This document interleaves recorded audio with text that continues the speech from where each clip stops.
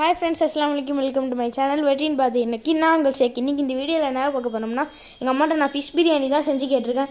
வாங்க எங்கள் அம்மா எப்படி செய்கிறாங்கன்னு பார்க்கலாம்.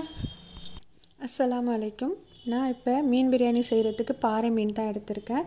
நீங்கள் நார்மலாக மீனுக்கு என்ன மசாலா கொடுக்குறீங்களோ அதே மசாலாவே கொடுத்து நல்லா ஃப்ரை பண்ணி எடுத்துக்கோங்க.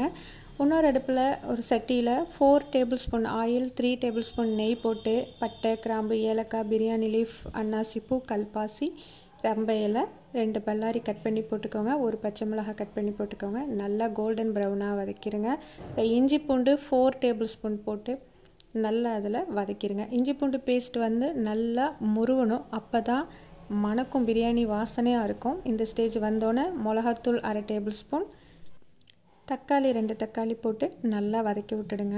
நல்லா வதங்கினோன்னே ஒரு கைப்பிடி அளவு மல்லிக்கீரை போட்டு அதையும் நல்லா வதக்கிடுங்க நல்லா வதங்கின பிறகு சோம்புத்தூள் அரை டேபிள் ஸ்பூன் ஜீரகத்தூள் அரை டேபிள் ஸ்பூன் மிளகுத்தூள் கால் டேபிள் ஸ்பூன் மல்லித்தூள் ஒரு டேபிள் ஸ்பூன் தயிர் சின்ன பாக்கெட்டு தயிர் போட்டு நல்லா வதக்கிடுங்க நல்லா அது வதக்கி எண்ணெய் விட்டு வரும்.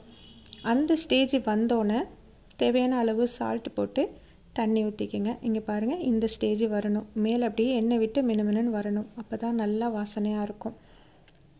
இப்போ ஒரு கப் ரைஸுக்கு ரெண்டு கப் தண்ணி. கிரேவி எவ்வளோ இருக்குன்னு பார்த்துக்கிட்டு தண்ணியை குறைச்சிக்கோங்க. தண்ணி ஊற்றி தண்ணி கொதி வந்தோடனே நம்ம அலசி எடுத்து வச்சுருக்கிற ரைஸை அதில் போட்டுருங்க. போட்டு நல்லா கொதி வரட்டும். முக்கால் ஸ்டேஜ் வந்தோடனே அரிசி எடுத்து தொட்டு பாருங்கள் முக்கால் ஸ்டேஜ் வெந்திருக்கும். வெந்த பிறகு நீங்கள் பொறிச்சு வச்சுருக்கிற மீனை அது மேலே அடுக்கி வச்சுருங்க.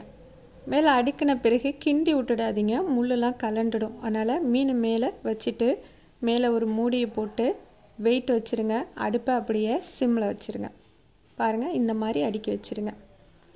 அடுப்பை சிம்மில் வச்சுட்டு ஃபிஃப்டீன் மினிட்ஸ் வெயிட் பண்ணுங்கள் ஃபிஃப்டீன் மினிட்ஸ்க்கு அப்புறம் சூப்பராக மீன் பிரியாணி ரெடி ஆயிரும்.